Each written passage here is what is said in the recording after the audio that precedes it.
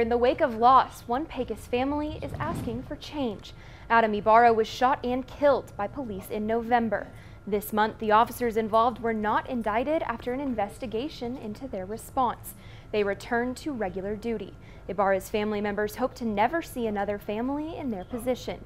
CBS 7's Hannah Brock met with them and brings us their message. Hannah. Well, mother and brother were at his home when Pecos police came. They say they believe the situation could have ended differently. They also wanted to share who he was beyond the headlines that have surrounded his death. He was uh, musical. He was into his kids. I mean, he just loved his kids. A jack of all trades and talented chef, Adam Ybarra also faced bipolar disorder for much of his life. His family said he was at a low point when Pecos police arrived at his home on a reported ongoing domestic dispute. His mother said she called to warn officers. And I had told him that he was bipolar and then he was uh, he had seizures and then he wasn't on his medication at the time. And I asked him, I begged him to please not shoot him. She believes those pleas were lost in police communications. Ybarra did have a knife. His brother tried to speak with him. The only de-escalation that I I feel happened was what I was doing.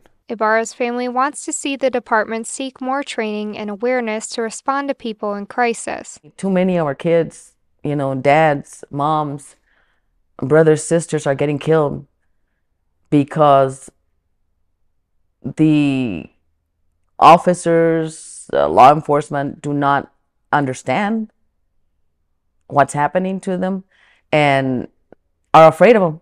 His family, full of Pecos natives, feels the loss. Because he used to just pop up. Hey, bro, what are you doing? Hey, come in. I'm outside or I'm barbecuing. Come on. We're watching a game. Uh, you know, so it's, it's, it gets lonely. Pecos Police Chief Lisa Toringo says the department actively trains officers and welcomes new training. A city spokesperson said the area overall lacks mental health resources, but that the city council reviews and has approved some mental health awareness focused appropriations. Ybarra's family said they will continue to look for change. For CBS 7 First Alert News, I'm Hannah Brock.